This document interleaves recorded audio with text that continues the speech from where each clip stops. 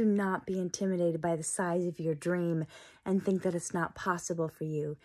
The very fact that you have this dream in your heart means that it is possible. It means that thing can happen and come true, and it can happen for you. Because not everybody has that same dream.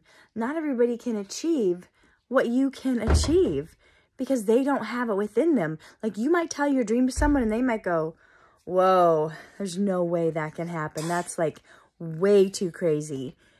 But that just means it can't happen for them, Mom, right? You're watching the ending of. You're So- watching the ending. Are you?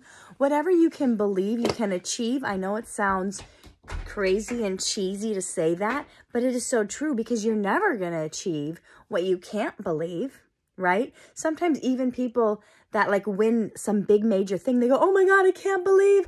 They had to believe in order to get to that place.